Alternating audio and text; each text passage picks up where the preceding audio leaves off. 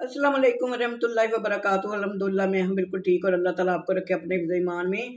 आज हम बनाएँगे जी विंग्स और बहुत आसान तरीके से, ज़बरदस्त और टेस्टी और कम बजट में।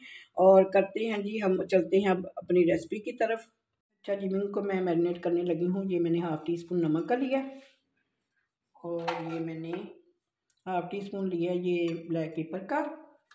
और हाफ़ टी स्पून मैंने लिया है सुरख पिसी हुई मिर्च का। आप अपने टेस्ट के मुताबिक लगाएँ। अच्छा जी, इसको मैं लगाऊँगी हाफ़ टेबल स्पून लगाऊँगी मैं इसको सिरका ये एक टेबल स्पून का ढक्कन है। और हाफ़ ही मैं लगाऊँगी इसको चिली सॉस और हाफ़ ही मैं लगाऊँगी इसको सोया सॉस और इसको मैं मैरिनेट करूँगी अब। बहुत इजी है, बाज़ार से आप इतने महँगे लेके आते हैं, ज़्यादा कीमत दे के लेके आते हैं। आप घर में तैयार करें, झटपट ये तैयार हो जाते हैं और होते भी ज़बरदस्त है और अंदर तक ये गल जाते हैं। हमने बड़े तरीके से इसको बनाना है।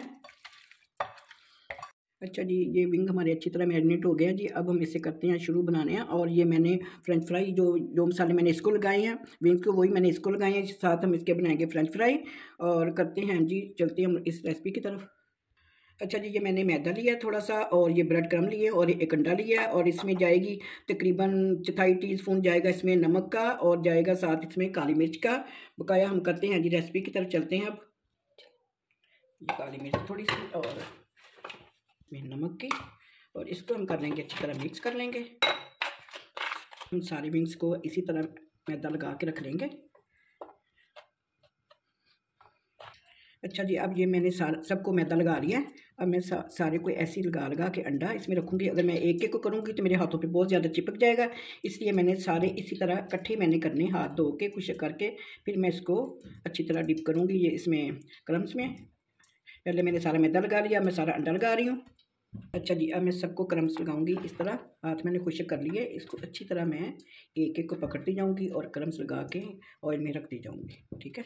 और नॉर्मल तेल है, ये बहुत ज़्यादा गर्म नहीं मैंने किया। और दरमियानी आँच पे मैंने इसको बनाना ताकि चिकन अंदर से अच्छी तरह गल जाए। बिस्मिल्लाह।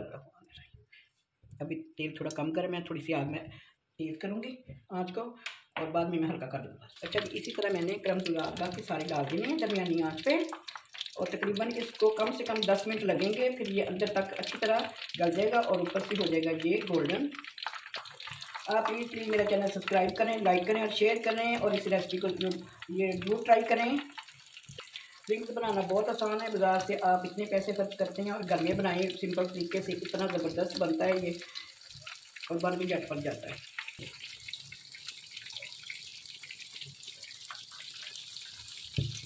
इसको हम पाँच मिनट आपने एक तरफ़ लगाना है और पाँच मिनट एक तरफ़ ताकि ये अच्छी तरह इसका से चिकन अच्छी तरह गल जाए। इतनी देर हमारी बीन्स रेडी होती है, उतनी देर हम फ्राई फ्राई करते हैं कि इसके ऊपर मैं थोड़ा सा मैदा डालूँगी और इसको मैं अच्छी तरह कोट कर लूँगी। जो थोड़ा सा अंडा बचा वो भी मैं इसके ऊपर डालूँगी और इसको हाथ के साथ अच्छी तरह मैं मसल लूँगी। अच्छा जी, इस तरह फ्रेंच फ्राई बहुत टेस्टी बनती है। अब थोड़ा सा मैं क्रम्स डालूँगी और इसको मैं अच्छी तरह मसल लूँगी। और इसमें ऑयल में छोड़ देंगे और ये बहुत ज़बरदस्त और क्रिस्पी बनेगी आपकी फ्रेंच फ्राई भी। अच्छा जी, जो पहले मैंने डाले थे वो तकरीबन एक तरफ़ से अच्छी तरह हो गए। मैंने इसको साइड पे कर दिया और जो मैंने बाद में डाले थे, मैंने दरमियान में कर दिया। इस तरह हमारे टाइम की बचत हो जाएगी। वैसे मुझे ज़्यादा देर खड़े होना पड़ेगा, इसलिए मैंने इकट्ठा ही डाल दिया और वो मैंने साइड पे कर दिया। अच्छा जी, अब मैं जो पहले डाले वो पहले निकालूँगी। तकरीबन दस मिनट लगेंगे जी इसको। दरमियानी आँच पे। इसको मैं तकरीबन एक मिनट और करूँगी जो बाद में डालने हैं मैं चलिए अब जो मैंने फ्रेंच फ्राई को मसाला वगैरह लगाया था क्रम्स लगाए थे। अब मैं वो ऐसे सिंगल सिंगल करके वो डालूँगी। आप भी इस तरह बनाइएगा, बहुत ज़बरदस्त बनती है। एक तो डिश कंप्लीट हो जाती है डिश अच्छी लगती है। दूसरा, इस तरह फ्रेंच फ्राई बहुत अच्छी बनती है। फ्रेंच फ्राई हमारी हो रही है जी दो मिनट लगेंगे जी हमारे फ्रेंच फ्राई को और ये हमारी रेसिपी हो जाएगी बिल्कुल रेडी सारी। और आप प्लीज़ प्लीज़ मेरा चैनल सब्सक्राइब करें लाइक करें और शेयर करें और मेरा हौसला अफजाई ज़रूर करें। ये फ्रेंच फ्राई हमारी हो गई है जी रेडी अब हम इसको निकालेंगे। अच्छा जी विंग्स हमारे हो गए हैं बिल्कुल रेडी ज़बरदस्त टेस्टी और जूसी साथ में मैंने बनाई है जी फ्रेंच फ्राई और बहुत ज़बरदस्त, ये भी बनी है और ये मैंने सॉस तैयार की है साथ। ये भी आप देखें और ज़रूर इसे ट्राई करें। आप प्लीज़ प्लीज़ मेरा चैनल सब्सक्राइब करें लाइक करें और शेयर करें और इस रेसिपी को ज़रूर ट्राई करें और मेरा हौसला अफजाई ज़रूर करें और बेल आइकन का बटन ज़रूर दबाया करें ताकि हर वीडियो आपको पहले पहुँचे।